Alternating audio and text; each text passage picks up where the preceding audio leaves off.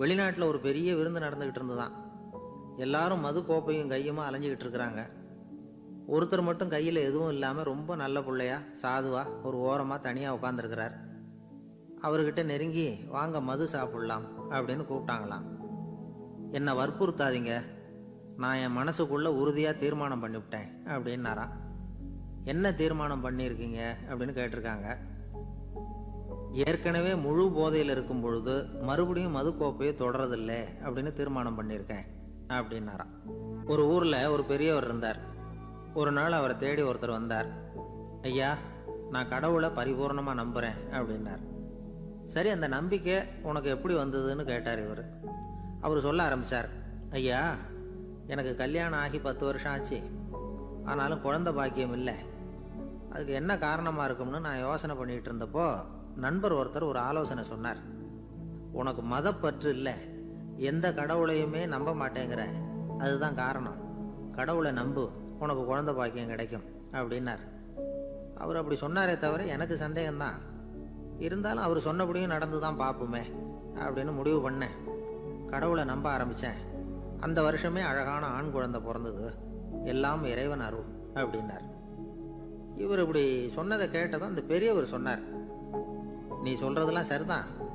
இருந்தாலும் இந்த காலத்தில் எந்த ஒரு காரியமாக இருந்தாலும் அதை சோதனை செஞ்சு பார்த்துட்டு தான் ஒரு முடிவுக்கு வந்து சேர முடியும். அறிவுபூர்வமான முடிவு அதுவாக தான் இருக்கும். அறிவியல் சோதனைகள் அப்படித்தான். ஒரு குறிப்பிட்ட விஷயத்தை பற்றி எத்தனை தடவை சோதனை பண்ணாலும் ஒரே முடிவு தான் கிடைக்கணும். அதுதான் சரியாக இருக்கும். அதனால் இப்போ மறுபடியும் ஒரு சோதனை என்னார் என்ன செய்யணும்? அப்படின்னு கேட்டார் இவர். கடவுள்கிட்ட ஒரு பெண் குழந்தை வேணும்னு கேளு. முதல்ல ஆண் குழந்தையை கொடுத்தது மாதிரியே இப்போ ஒரு பெண் குழந்தையையும் கொடுக்குறாரா பார்க்கலாம் அப்படின்னார். சரின்னு சொல்லி இவர் அதே மாதிரி முயற்சி பண்ணினார். அதுக்கப்புறம் அவர் இந்த பெரியவர்கிட்ட வரவே இல்லை. கொஞ்ச காலம் கழித்து இவரே அவரை தேடிக்கிட்டு போய் கதவை தட்டினார். அவர் கதவை திறந்தார். என்ன ஆச்சு கடவுள் கண் திறந்தாரா? அப்படின்னு கேட்டார். அவர் அந்த சமாச்சாரம்லாம் நமக்கு வேணாம் சார். முதல் தடவை அது ஏதோ தற்செயலாக ஏற்பட்ட ஒரு சாதகம். இப்போ நீங்கள் ரெண்டாவது தடவை சொன்ன பிறகு தினமும் கடவுளை வேண்டிக்கிட்டு தான் இருக்கிறேன். ஒன்றும் நடக்கலை அப்படின்னா ரொம்ப விரக்தியாக ஒரே ஒரு தோல்வியில் உங்கள் நம்பிக்கையெல்லாம் பறந்து போயிடுது பார்த்தீங்களா அப்படின்னார் அந்த பெரியவர். எல்லாம் நல்ல விதமாக நடக்கிற வரைக்கும் நம்பிக்கை. எதிர்பார்த்தது தோல்வியில் முடிஞ்சுட்டுதுன்னா அவநம்பிக்கை. மற்றவர்கள் பேரில் வைக்கிற நம்பிக்கை எந்த நேரத்திலையும் விவகாரமாகி விடக்கூடிய சாத்தியம் உண்டு. நாம் நம்பிக்கை வைக்க வேண்டியது நம்ம தான். நமக்குள்ளே இருக்கிறார் கடவுள். எனவே நம்ம பேரில் நாம் வைக்கிற நம்பிக்கை தான் உண்மையான கடவுள் பக்தி. நிபந்தனையற்ற நம்பிக்கையாக அது இருக்கணும். எல்லாம் நல்லபடியாக நடந்துக்கிட்டு இருந்தால் எந்த முட்டாளுக்கும் நம்பிக்கை வரத்தான் செய்யும் அப்படிங்கிறது ஒரு பெரிய ஒரு கருத்து. தியானத்தின் மூலமாக தான் உனக்குள்ளே ஆழமாக தோண்டுனா உன்னுடைய அடி ஆழத்தில் நம்பிக்கை வந்து அப்படி ஊற்றெடுக்கும் அதை பார்க்க முடியும் அப்படிங்கிறது பெரியவர்கள் சிந்தனை. ஒரு குழந்தை அப்பாவை பார்த்து என்னப்பா பண்ணுறேன்னு கேட்டுதான். பிரார்த்தனை பண்ணிட்டு இருக்கிறேன்னாராம் அப்பா. பிரார்த்தனை பண்ணுனா என்ன கிடைக்கும் அப்படின்னு கேட்டுதான் குழந்தை. எல்லாம் கிடைக்கும் அப்படின்னாராம் அப்பா. நீ வச்சிருக்கிறிய பேனா அது கூட கிடைக்குமான்னு கேட்டுதான் குழந்தை. போ கிடைக்குமேன்னு இருக்கார். அப்படின்னா அந்த பேனாவை என்கிட்ட கொடுத்துரு. நீ பிரார்த்தனை பண்ணி வேற பேனா வாங்கிக்கோ அப்படின்னு தான் அந்த குழந்தை. ஒரு ஊரில் ஒரு குரு இருந்தார். ஜென் குரு. அவரை தேடிட்டு ஒரு மன்னர் வந்தார். வந்தவர் ஜப்பான் மன்னர். தோட்டக்கலையை பற்றி தெரிஞ்சுட்டு போகிறதுக்காக அவர் வந்தார். எப்படி தோட்டம் அமைக்கிறது அப்படிங்கிறத பற்றி அந்த குரு விவரமாக சொல்லி கொடுத்தாரு. ஒரு நாள் ரெண்டு நாள் இல்லை மூணு வருஷம் கற்றுக் கொடுத்தார். அதுக்கப்புறம் சொன்னார் நான் கற்றுக் கொடுத்துட்டேன். இனிமேல் நீங்கள் போகலாம் போய் தோட்டம் அமைக்கலாம். அதுதான் உங்களுக்கு பரிசை தோட்டம் அமைச்ச பிறகு சொல்லி அனுப்புங்க. நான் வந்து பார்க்குறேன் நீங்கள் இங்கே என்னவெல்லாம் கற்றுக்கிட்டீங்களோ அதையெல்லாம் அங்கே செயல்முறையில் செஞ்சு காட்டுங்க. அப்படின்னு சொல்லி அனுப்பி வச்சார். மன்னர் போனார். அரண்மனைக்கு பக்கத்திலேயே ஒரு பெரிய தோட்டத்தை உண்டு பண்ணினார். அழகான மரங்களையும் செடிகளையும் உருவாக்கினார். கிட்டத்தட்ட ஆயிரம் தோட்டக்காரர்களை பயன்படுத்தி மூணு வருஷங்கள் முயற்சி பண்ணி அந்த அழகான தோட்டத்தை உருவாக்கினார். குரு இருந்து செய்தி வந்தது. நாளைக்கு வந்து தோட்டத்தை பார்க்குறேன் அப்படின்னு. மன்னர் உடனே சுறுசுறுப்பாயிட்டார். முதல் நாளே தோட்டத்தை சுத்தப்படுத்தினார். ராத்திரி பூரா யாரும் தூங்கலை. எல்லாருக்கும் தோட்டத்தை ஒழுங்குபடுத்துகிற வேலை. அது அது அந்தந்த இடத்துல ஒழுங்காக இருக்குதா அப்படின்னு சரி பார்த்தாங்க. ஒரு தவறும் இல்லாத வகையில் அதை ஒழுங்குபடுத்தினாங்க. மறுநாள் குரு வந்தார் தோட்டத்தை பார்த்தார். அவருக்கு கோபம் வந்துட்டுது மன்னருக்கு ஆச்சரியம். எப்பவும் சிரிச்சுக்கிட்டே இருக்கிறவர் இப்போ எப்படி இருக்கிறாரே? அப்படின்னு. மெதுவாக குருக்கிட்ட போய் எல்லாம் சரியாக தானே இருக்குது? அப்படின்னார். எல்லாம் சரிதான். ஆனாலும் எங்கே அந்த பொன்னிற காற்று? அப்படின்னார். உதிர்ந்த இலைகள் பொன் மஞ்சள் நிற இலைகள் காற்றில் அப்படி புரண்டு ஓடுவதை நான் பார்க்க முடியவில்லையே அப்படின்னாராம். அது இல்லாமல் இந்த தோட்டம் உயிரோட்டம் உள்ளதாக இருக்காது. இதில் பாடல் இல்லை ஆடல் இல்லை. அதெல்லாம் இல்லாமல் இந்த தோட்டம் ரொம்பவும் செயற்கையாக தெரியுதேன்னாராம். மன்னர் இப்போ தான் யோசனை பண்ணார். கீழே கிடந்த காஞ்சி போன இலைகள் மட்டும் இல்லை மரத்தில் இருந்த காஞ்சி போன இலைகளையும் அப்புறப்படுத்தி சுத்தமாக வச்சிருக்கிறார். இறப்பும் வாழ்க்கையினுடைய ஒரு பகுதி தான் மரணம்ங்கிறது வாழ்க்கைக்கு எதிரானது அல்ல. அதை நிரப்பும் ஒரு பகுதி தான் அது. மரணம் இல்லையில் வாழ்க்கையே இல்லை அப்படிங்கிறது பெரியவங்க கருத்து. இப்போ அந்த தோட்டம் அழகாக தான் இருக்குது. இருந்தாலும் அது ஒரு ஓவியம் மாதிரி உயிர் இல்லாமல் இருக்கு. குரு ஒரு வாளியை கையில் எடுத்துக்கிட்டார். தோட்டத்தை விட்டு வெளியில் போனார். ஏற்கனவே வீசி எறிந்த அந்த சருகுகளை எல்லாம் அள்ளி கொண்டுகிட்டு வந்தார். உள்ள எல்லா இடங்கள்லையும் அதை வீசினார். உடனே காற்று அந்த காய்ந்த சருகுகளையும் பழுத்த இலைகளையும் அசைக்க ஆரம்பிச்சுட்டுது. இப்போ அங்கே சலசல சத்தம் சங்கீதம். இலைகளின் நடனம். ஓவியம் மாதிரி இருந்த அந்த தோட்டத்துக்கு இப்போ உயிர் வந்துட்டுது. இதுதான் அந்த பொன்னான காற்று அப்படின்னாராம் குரு. மன்னருக்கு புரிஞ்சுது. மிகப்பெரிய ஜென் கேள்வி ஒன்று உண்டு. உம்மான் அப்படிங்கிற ஒரு பெரிய குருவை பார்த்து துறையை ஒருத்தர் கேட்டாராம். இலைகள் எல்லாம் கீழே விழுந்து மரங்கள் மொட்டையாக இருக்கும் பொழுது என்ன நடக்கும்? இதுதான் கேள்வி. இதுக்கு உம்மான் சொன்ன பதில் பொன்னான காற்று தி கோல்டன் விண்ட் அப்படின்னாராம். இதுக்கு என்ன விளக்கம்னா உன்னுடைய எண்ணங்கள் எல்லாம் உன்னுடைய மனசிலிருந்து கீழே விழுந்து உனது உள்ளுணர்வானது மொட்டையாக நிற்கும் நிலைதான் அது. உனது வேர்களின் அருகில் காற்று வீசுகிறது. எல்லா எண்ணங்களும் உன்னிலிருந்து வெகு தூரத்துக்கு புரண்டு கொண்டே சென்று விடுகிறது. நீ அவற்றை கடந்து விட்டால் நீ அவைகளுக்கெல்லாம் மேலெழுந்து கீழே பார்ப்பவனைப் போல நிற்க ஆரம்பித்து விடுவாய். அதுதான் தியானம் என்பது அப்படின்னு சொல்கிறாங்க தியானம்ங்கிறது எண்ணத்துக்கு எதிரானதில்லை. தியானம்ங்கிறது எண்ணங்களை கடந்து செல்வது தான் அதுக்கப்புறம் நாம் வந்து பொன்னிற காற்றில் ஆட ஆரம்பிச்சிருவோம். இதுதான் பெரியவர்கள் சொல்கிறது என்கிட்ட ஒருத்தர் வந்து தோட்டம் அமைக்கணும்னு யோசனை கேட்டு வந்தார். எல்லாம் சொல்லி கொடுத்தேன். செடிகள்லாம் செழிப்பாக வளரணும்னா வேர் காயாமல் பார்த்துக்குங்க தினமும் தண்ணி விடுங்க அப்படின்னு சொல்லி அனுப்பி வச்சேன். ஒரு மாதம் கழிச்சு அவர் தோட்டத்தை பார்க்கறதுக்காக போனேன். போய் பார்த்தா எல்லா செடியும் வாடி கிடக்குது. என்னங்க இப்படி பண்ணிவிட்டீங்கன்னு நீங்கள் சொன்னபடி தான் செஞ்சேன்னார். என்ன செஞ்சீங்கன்னு கேட்டேன். வேர் காயாமல் பார்த்துக்க சொன்னீங்க. தினமும் ஒரு தடவை எல்லா செடியையும் ஒவ்வொன்றா பிடுங்கி பார்த்து வேர் காயாமல் இருக்கா? அப்படின்னு பார்த்துட்டு அதுக்கப்புறம் தண்ணி பாய்ச்சினேன். அவ்வளவுதான் அப்படின்னார்.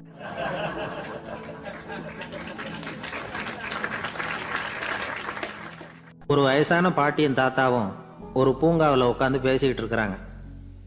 அவங்களுக்கு கல்யாணம் ஆகி ஐம்பத்தி மூணு வருஷம் ஆச்சு. பிள்ளைங்கள்லாம் படித்து பெரிய பெரிய வேலையில் இருக்கிறாங்க. பேரன் பேத்திகளும் நல்ல நிலைமையில் இருக்கிறாங்க. இந்த தாத்தாவும் பாட்டியும் சிரித்து பேசிக்கிட்டு இருந்ததை ஒரு பெரியவர் பார்த்தார். அவருக்கு ஆச்சரியமாக இருந்தது. இந்த வயசுலேயும் இவ்வளவு அந்யோன்யமாக இவங்க பேசிக்கிட்டு இருக்கிறாங்களே அப்படின்னு நினச்சார். சரி நேரிலேயே கேட்டுருவோமே அப்படின்னு நினச்சிக்கிட்டு கிட்ட போனார். உங்கள் மன வாழ்க்கையின் வெற்றிக்கான ரகசியம் என்ன அப்படின்னு கேட்டார். இதை கேட்டதும் அந்த தாத்தா சிரிச்சுக்கிட்டே பாட்டியை பார்த்தாராம். அதுக்கப்புறம் சொன்னாராம் நான் இந்த அம்மாவை கல்யாணம் பண்ணிக்கிட்டதுக்கும் எங்களுடைய இல்வாழ்க்கை இவ்வளவு நாளாக பலம் குறையாமல் மகிழ்ச்சியாக இருக்கிறதுக்கும் காரணம் ஒன்று தான் அது என்ன காரணம்னா எங்களுக்கு இடையில் பொதுவாக நிறைய குறைகள் உண்டு. அதுதான் காரணம் அப்படின்னாராம்.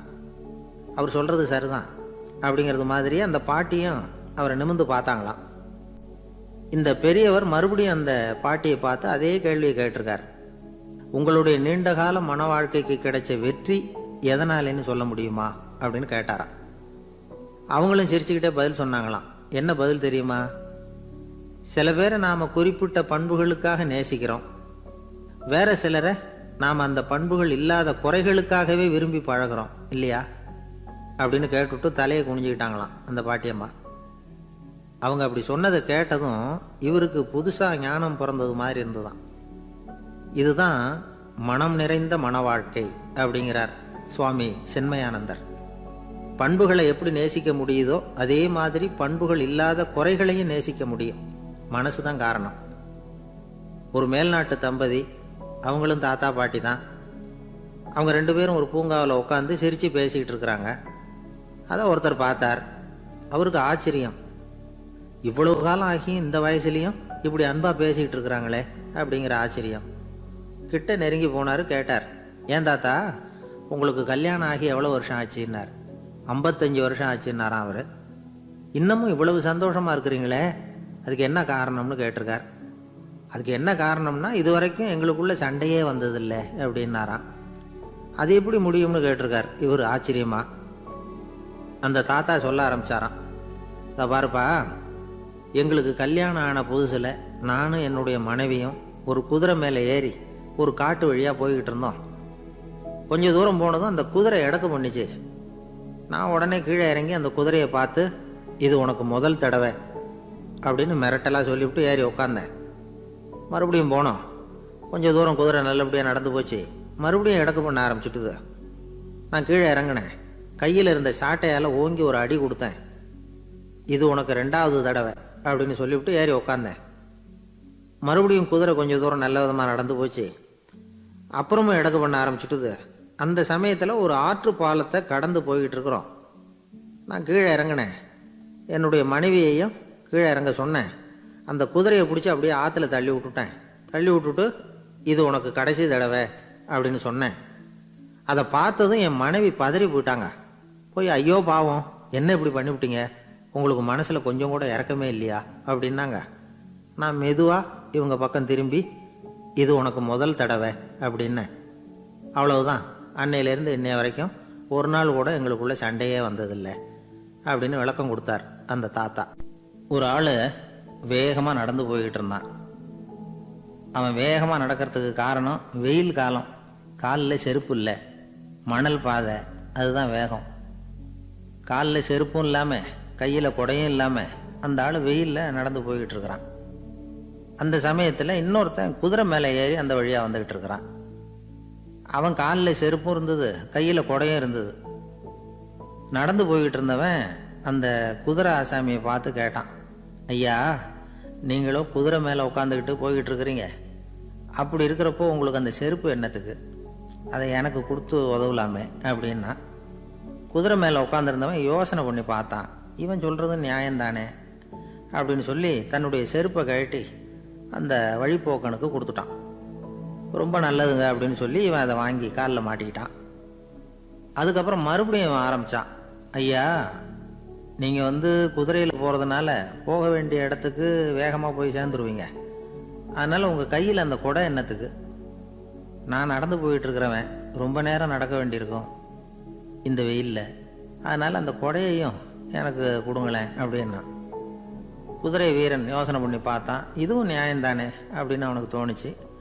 உடனே இறக்கப்பட்டு தன் காலில் இருந்த செருப்பை கொடுத்தது மாதிரியே தன் கையில் இருந்த கொடையையும் இவங்கிட்ட கொடுத்துட்டான். அதுக்கப்புறம் அவன் நிம்மதியாக புறப்பட்டான்.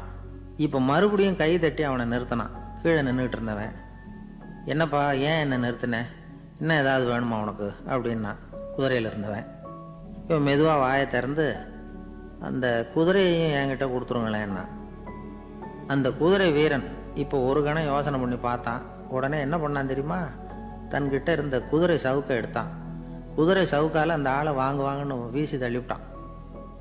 இவ்வளவு சவுக்கடியும் வாங்கிக்கிட்டு இந்த ஆள் என்ன பண்ணான் தெரியுமா? சிரிக்கிறான். அடி வாங்கிட்டு யாராவது சிரிப்பாங்களா? குதிரை வீரனுக்கு ஒன்றும் புரியல. என்னப்பா அது? ஏன் இப்படி அடி வாங்கிட்டு இப்படி சிரிக்கிறியே? அப்படின்னு கேட்டான். இப்போ அந்த வழிப்போக்கம் சொல்கிறான் ஐயா நான் இப்படி சிரிக்கிறதுக்கு காரணம் இருக்கு. இப்படி குதிரை கேட்டு உங்ககிட்ட அடி வாங்கலைன்னு வச்சுக்கோங்க. என் உயிர் உள்ள வரைக்கும் மனசில் ஒரு தவிப்பு இருந்துக்கிட்டே இருக்கும். செருப்பையும் கொடையையும் கேட்ட உடனே கொடுத்தவன் குதிரையையும் கேட்டிருந்தா கொடுத்துருப்பானோ? அப்படிங்கிற பேராசையில் ஏங்கிக்கிட்டே இருந்திருப்பேன்.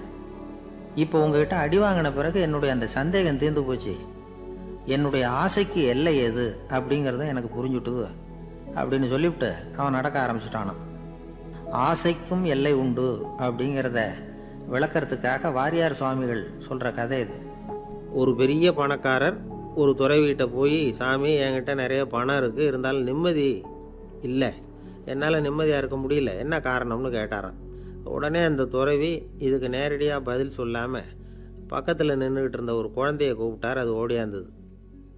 ஒரு ஆப்பிள் பழத்தை எடுத்து அது கையில் கொடுத்தார். அதை வாங்கிக்கிட்டு குழந்தை சிரிச்சுது. இன்னொரு பழத்தை எடுத்து கொடுத்தார். அதை இன்னொரு கையில் வாங்கிட்டு சிரிச்சுது. மூணாவது ஆப்பிள் எடுத்து கொடுத்தார். ரெண்டு பழத்தையும் நெஞ்சில் அணைச்சிக்கிட்டு மூணாவது பழத்தையும் வாங்குறதுக்கு முயற்சி பண்ணிச்சு. ஆனால் அது உடனே நழுவி கீழே விழுந்து உருண்டு ஓடிச்சு. ஏற்கனவே இருந்ததும் விழுந்துட்டுது இப்போ அந்த குழந்தை அழ ஆரம்பிச்சுட்டுது.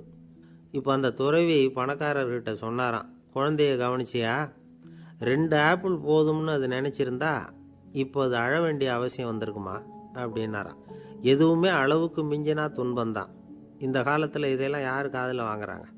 ஒருத்தனை நல்ல வழிக்கு கொண்டு வரணும்னு நினச்சி அவனை கூப்பிட்டு உட்கார வச்சு இந்த கதையை சொல்லிகிட்டு இருந்தாங்க. சொல்லிவிட்டு அந்த குழந்தை செஞ்சது தப்பு தானே அப்படின்னு கேட்டிருக்கிறாங்க. ஆமாம் தப்பு தான் நானாக இருந்தால் அப்படி செஞ்சுருக்க மாட்டேன் நானா இவன். ரெண்டு பழமே போதும்னு சொல்லியிருப்பியா? அப்படின்னு கேட்டிருக்காங்க. அப்படி இல்லைங்க. அவர் கொடுக்க கொடுக்க ஒவ்வொரு பழமாக வாங்கி பின்னாடி வச்சுட்டு மறுபடியும் கையை நீட்டுவேன் அப்படிங்கிறானாம். இவெல்லாம் எந்த காலத்தில் திருந்துறது?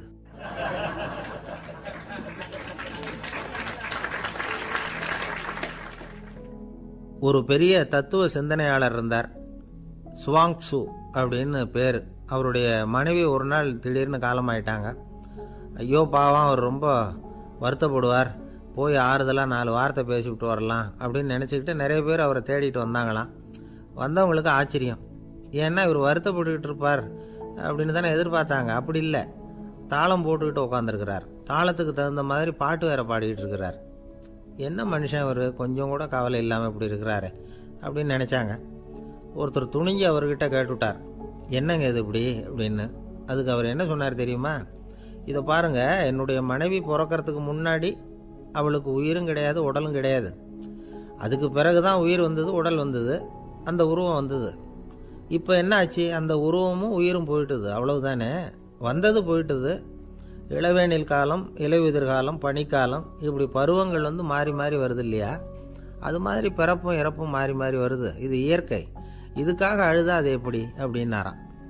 ஞான தெளிவு அடைஞ்சவங்களுக்கு எல்லாமே சுகம்தான். திருவள்ளுவரும் அதை தான் சொல்கிறார் உறங்குவது போலும் சாக்காடு உறங்கி விழிப்பது போலும் பிறப்பு. தூங்குறதுக்கெல்லாம் நாம் வருத்தப்பட்டுக்கிட்டு இருக்கிறோமா? இன்னைக்கு தூங்க வேண்டியிருக்குதே. இன்னும் கொஞ்சம் நேரத்தில் நான் தூங்க வேண்டியிருக்கு அப்படின்னு சொல்லி யாராவது அழுதுகிட்டு இருப்பாங்களா? அதனால் இந்த உலக வாழ்க்கையினுடைய இயல்பை வந்து யதார்த்தத்தை நாம் தெளிவாக புரிஞ்சுக்கணும். அப்படி புரிஞ்சுக்கிட்டால் நாம் கவலை இல்லாமல் வாழ முடியும். ஒரு வயசான தாத்தா பாட்டி அறுபது வருஷத்துக்கு முன்னாடி அவங்களுக்கு கல்யாணம் ஆச்சு. ஒன்றாவே வாழ்ந்தாங்க ஒன்றாவே இறந்து போனாங்க. இப்போ அவங்க ரெண்டு பேரும் சொர்க்கத்துக்கு போய் சேர்ந்தாங்க. அங்கே எல்லா வசதியும் இருந்தது. ஒரு பெரிய பங்களாவே இவங்களுக்கு ஒதுக்கி கொடுத்தாங்களாம். இதுக்கு எவ்வளவு வாடகைன்னு கேட்டார் தாத்தா. வாடகையெல்லாம் கிடையாது இலவசம் அப்படின்னார் அங்கே இருந்தவர். அந்த வீட்டுக்கு பின்னாடி ஒரு பெரிய புல்வெளி இருந்தது. இதில் விளையாட ஏதாவது கட்டணம் உண்டான்னு கேட்டிருக்கார் தாத்தா. அதெல்லாம் ஒன்றும் கிடையாது. பணம்லாம் கட்ட வேண்டியதில்லை அப்படின்னார் அவர். பக்கத்தில் ஹோட்டல் மாதிரி ஒரு பெரிய கட்டடம். உள்ளே சாப்பாட்டு மேஜைகள் அது மேலே விதவிதமான பலகாரங்கள். சாப்பாட்டுக்கெல்லாம் எவ்வளவு அப்படின்னு விசாரித்தாராம் தாத்தா. அதுதான் சொன்னேனே இங்கே எல்லாமே இலவசம்தான். எது வேணும்னாலும் சாப்பிட்லாம். எவ்வளவு வேணும்னாலும் சாப்பிட்லாம். அப்படின்னாராம். நீங்கள் சொல்கிறீங்க அப்படி ஆனால் நான் வந்து சர்க்கரை சேர்த்துக்கக்கூடாது உப்பு சேர்த்துக்கக்கூடாது பாட்டி கையால் எப்பவும் பத்திய சாப்பாடு தான் அப்படின்னாராம் தாத்தா. இதை பாருங்கள் இங்கே உங்களுக்கு அந்த கவலையும் வேண்டியதில்லை. இங்கே நீங்கள் ஸ்வீட்டு சாப்பிட்லாம் காரம் சாப்பிட்லாம். உங்களுக்கு எந்த நோயும் வராது அப்படின்னாராம். அங்கே சொர்க்கத்தில் இருந்தவர் இதை கேட்ட உடனே அந்த தாத்தா பக்கத்தில் நின்ன பாட்டியை பார்த்து கத்துனாராம். அடி பாவி எல்லாத்தையும் கெடுத்துட்டியே நீ எனக்கு பத்திய சாப்பாடு போடாமல் கண்டதை திங்க விட்டுருந்தா பத்து வருஷத்துக்கு முன்னாடியே நான் இங்கே வந்து சேர்ந்துருப்பேனே அப்படின்னாராம்.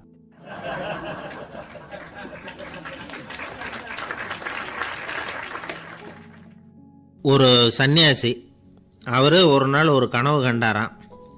அந்த கனவில் அவர் சொர்க்கத்துக்கு போகிறார் அங்கே ஒரு பெரிய திருவிழா நடந்துக்கிட்டு இருக்குது. எங்கே பார்த்தாலும் அலங்கார வளைவுகள் வண்ணமயமான விளக்குகள் பாதைகள் பூரா மலர்கள். எல்லா கட்டடங்களும் ஒளிமயம். அவ்வளவு கோலாகலமாக பிரம்மாண்டமாக அந்த திருவிழா நடந்துக்கிட்டு இருக்குது. அது என்ன திருவிழாங்கிறது இந்த சன்னியாசிக்கு புரியல. அங்கே எதிரில் வந்துக்கிட்டு இருந்த ஒருத்தரை நிறுத்தி என்ன விசேஷம் இங்கே? அப்படின்னு விசாரிச்சாராம். உனக்கு தெரியாத விஷயம்? இன்னைக்கு இறைவனுக்கு பிறந்த நாள். அதை தான் எல்லாரும் சேர்ந்து கொண்டாடுறோம். இதுக்காக பிரம்மாண்டமான ஊர்வலம் ஒன்று வரப்போகுது. இறைவனே அந்த ஊர்வலத்தில் கலந்துகிறார் அப்படின்னார் அவர். உடனே அந்த சன்னியாசி ஒரு மரத்து நிழலில் ஒதுங்கி நின்றுக்கிட்டார் ஊர்வலம் வந்துக்கிட்டு இருக்குது. முதல்ல ஒரு குதிரை வந்துக்கிட்டு இருக்கு. அது மேலே ஒருத்தர் உட்காந்துருக்கிறார் அவருக்கு பின்னாடி நிறைய பேர் கூட்டமாக வந்துக்கிட்டு இருக்கிறாங்க. இவ்வளவு கூட்டம் இவர் பின்னாடி வருதே யார் இவர்? அப்படின்னு கேட்டார். ஒரு மதத்தின் பெயரை சொல்லி இவர் வந்து அந்த மதத்தின் தலைவர். அவரை பின்பற்றுகிற மக்கள் கூட்டம் பின்னாடி வந்துக்கிட்டு இருக்குது அப்படின்னு விவரம் சொல்லியிருக்கிறாங்க.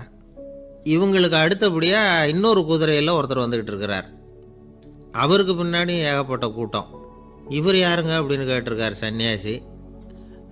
அங்கே இருக்கிறவங்க விவரம் சொல்லியிருக்கிறாங்க. இன்னொரு மதத்தின் பெயரை சொல்லி இவர் அந்த மதத்தினுடைய தலைவர்.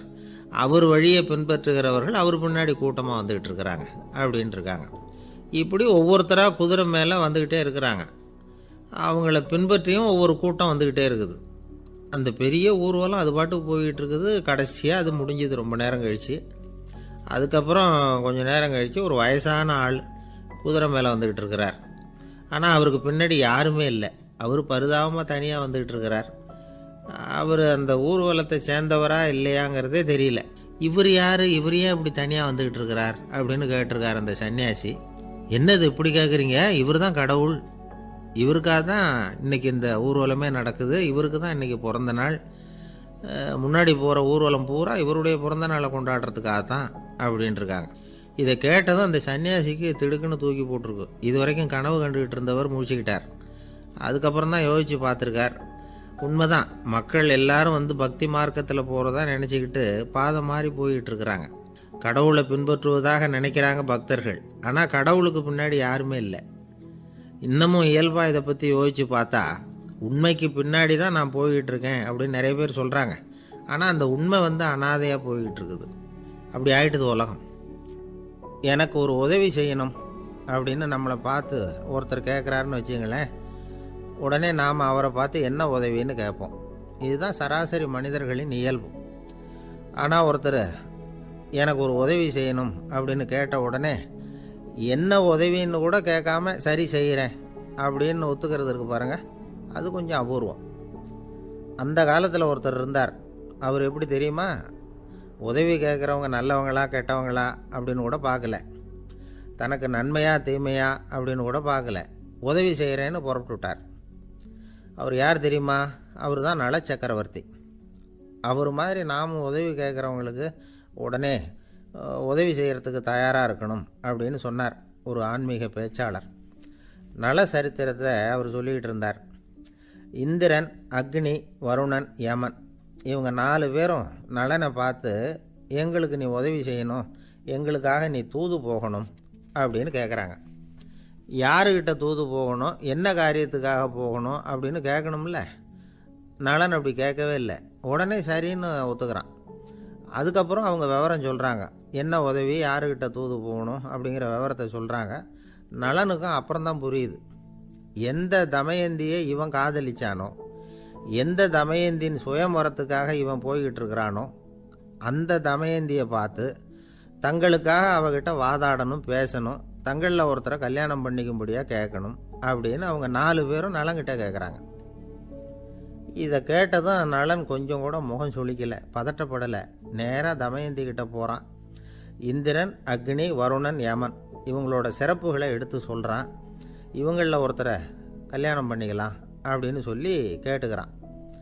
ஆனால் இதுக்கு தமயந்தி சம்மதிக்கலை. சுயம்வரம் நடக்குது. அவள் வந்து நலனை வந்து தேர்ந்தெடுக்கிறாள் அந்த நாலு பேரும் நலனுக்கு வந்து நிறைய வரங்கள்லாம் கொடுக்குறாங்க அதுக்கப்புறம். இப்படி போகுது கதை. இதில் நாம் கவனிக்க வேண்டியது என்னென்னா உதவின்னு கேட்ட உடனே என்ன உதவின்னு கேட்காம சரி செய்கிறேன்னு சொன்னான் பாருங்கள் அதை கொஞ்சம் சிந்திக்கணும். செய்கிறேன்னு ஒத்துக்கிட்டதுக்கு அப்புறம் அது என்ன உதவின்னு தெரிஞ்சும் முகம் சுளிக்காமல் அதை செஞ்சான் பாருங்க. அதையும் கொஞ்சம் சிந்திக்கணும்.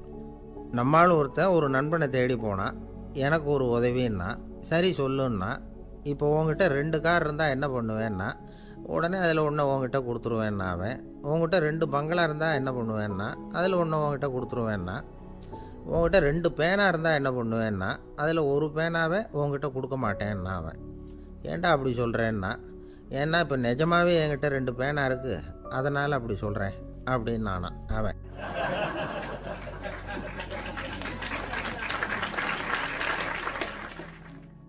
ரொம்ப பேருக்கு கூட்டத்தில் பேசுறதுன்னா பயம். நமக்கு ஒன்றும் தெரியாதுன்னு மற்றவங்க நினச்சிடக்கூடாதுங்கிற எண்ணம் தான் இதுக்கு காரணம். ரொம்ப முக்கியமான ஒரு கூட்டம்னா பயமும் அதிகமாக இருக்கும். முக்கியமானவங்கள்லாம் வருவாங்களே அவங்களாம் நம்மளை பற்றி மட்டமாக நினச்சிருவாங்களே அப்படிங்கிற பயம் வந்துடும் ஆனால் மேடை பேச்சுங்கிறது அவ்வளவு கடினமான ஒரு காரியம் இல்லைங்கிறாங்க. அது சம்பந்தமான நிபுணர்கள். யாரும் பேச்சாளர் ஆகலாம் இது ஒன்றும் பெரிய கிஃப்ட்டு கிடையாது அப்படின்னு அவங்க சொல்கிறாங்க நீங்கள் ஒரு சிறந்த பேச்சாளர் ஆகணுமா அப்படின்னா அதுக்குன்னு சில ஆலோசனைகளை சொல்லி வச்சிருக்கிறாங்க அனுபவசாலிகள். முதல் ஆலோசனை என்னென்னா உங்கள் பேச்சு வந்து எளிமையாக இருக்கணும். ஏதாவது ஒரு கருத்து அல்லது ரெண்டு கருத்து சொன்னால் போதும். இருபது அல்லது முப்பது கருத்துக்களை சொல்லிகிட்டே போகக்கூடாது. ரெண்டாவது ஆலோசனை நீங்கள் என்ன பேச போகிறீங்கங்கிறது முதல்ல உங்களுக்கு நல்லா புரியணும். அதுக்கப்புறம் தான் அதை அடுத்தவங்களுக்கு புரிய வைக்க முடியும். எப்படி ஆரம்பிக்க போகிறோம் எந்த கருத்தை முக்கியமாக வலியுறுத்த போகிறோம் எப்படி முடிக்க போகிறோம் அப்படிங்கிறத முதல்ல நல்லா சிந்திச்சு மனசில் வச்சுக்கணும். கடைசியாக என்ன சொல்கிறீங்களோ அதுதான் கேட்குறவங்க மனசில் நிற்கும் மூணாவது ஆலோசனை என்னென்னா உங்கள் பேச்சு சுருக்கமாக இருக்கணும். ஒரு பதினஞ்சு நிமிஷம் பேசுகிறது ரொம்ப பொருத்தம். மணிக்கணக்கில் பேசிக்கிட்டு இருக்கிறது நல்லதில்லை. நாலாவது ஆலோசனை. நீங்கள் பேசுகிறது உண்மையாக இருக்கணும். உங்களுக்கு உண்மையான அனுபவங்கள் இருக்கும். அதை சொல்லலாம். உங்களுடைய உண்மையான அனுபவங்களை மற்றவங்களோட பகிர்ந்துக்கணும். அதுதான் முக்கியம். ஐந்தாவது ஆலோசனை ஆரம்பத்தில் கொஞ்ச நேரம் உங்களை பற்றியும் எதிரில் உள்ளவங்களை பற்றியும் சம்மந்தப்படுத்தி ஏதாவது பேசி ஒரு நெருக்கத்தை ஏற்படுத்திக்கணும். ஒவ்வொருத்தரும் இப்போ இவர் பேச போகிறது நம்ம சம்மந்தப்பட்டது அப்படின்னு நினைக்க ஆரம்பிச்சிருவாங்கல்ல. அதுக்கப்புறம் அவங்க கேட்க தயாராகிட்டாங்கன்னு அர்த்தம். எதிரில் உட்காந்துருக்கிற கூட்டத்திலிருந்து மூணு பேரை தேர்ந்தெடுங்க. அதாவது வலது பக்கம் ஒருத்தர் நடுவில் ஒருத்தர் இடது பக்கம் ஒருத்தர். அதாவது உங்களை வந்து ரொம்ப கனிவாகவும் ஆர்வமாகவும் பார்க்குறவராக பார்த்து தேர்ந்தெடுத்துங்க மனசுக்குள்ளே. நீங்கள் பேசும்பொழுது என்ன பண்ணணும்னா இவங்களை நேருக்கு நேராக மாறி மாறி பார்த்துக்கிட்டே பேசுனீங்கன்னா நீங்கள் ஏதோ ஒட்டுமொத்த கூட்டத்தையும் பார்த்து பேசுகிறதாக ஒரு உணர்வு அது ஏற்படுத்திவிடும். ஆறாவது ஆலோசனை என்னென்னா சொற்பொழிவுன்னா நீங்கள் பேசணும். படிக்கக்கூடாது எழுதி படிக்கிறது நல்லா இருக்காது. குறிப்புகள் வேணும்னா வச்சுக்கலாம். படிக்கிறது பேப்பர்லேருந்து வர்றது மாதிரி இருக்கும். பேசுறது இதயத்திலேருந்து வர்றது மாதிரி இருக்கும். அப்புறம் ஏழாவது ஆலோசனை சொல்கிறாங்க அது என்னென்னா மேடையில் ஏறி நின்ன உடனே இயல்பாக மூச்சை இழுத்து விட்டுங்க இயல்பு நிலைக்கு வாங்க. அதுக்கப்புறம் இயல்பாக பேச ஆரம்பிக்கலாம் அப்படிங்கிறாங்க. இவ்வளவும் வந்து பேச்சு கலையில் வல்லுநர்களாக இருக்கிறவங்க சொல்லுகிற ஆலோசனைகள். இதையெல்லாம் கடைபிடிச்சா நமக்கும் அதுக்கும் வெகு தூரம்னு நினச்சிக்கிட்டு இருந்த ஒன்று இப்போ கிட்டத்தில் நெருங்கி வந்துடும் நாம் சொல்கிறபடியெல்லாம் அது கேட்கும் ஒரு பேச்சாளர் அவருக்கு சுருக்கமாகவே பேச தெரியாது. மேடையில் ஏற்றி விட்டுட்டா போதும் ஆரம்பிச்சிருவார் நிறுத்த மாட்டார் பேசிக்கிட்டே இருப்பார். ஒரு தடவை அவர் ஒரு கூட்டத்தில் ரொம்ப நேரம் பேசிக்கிட்டே இருக்கிறார். எதிரில் பொறுமை இழந்த ஒருத்தர் தன்னுடைய கை கடிகாரத்தை காட்டினார். அதை கவனித்த பேச்சாளர் மன்னிக்கணும். கை கடிகாரம் நான் கொண்டுகிட்டு வர மறந்துட்டேன். அதுதான் நேரம் போனதே தெரியல. அப்படின்னு சொல்லி சொல்லியிருக்கிறார். இதுக்கு அவர் சொன்னாராம் கோபமாக ஏய்யா கடிகாரத்தை தான் பார்க்க முடியல மறந்துட்டேன். பக்கத்தில் மாட்டியிருக்கிற கேலண்டரையாவது பார்க்கக்கூடாதா அப்படின்னாராம்.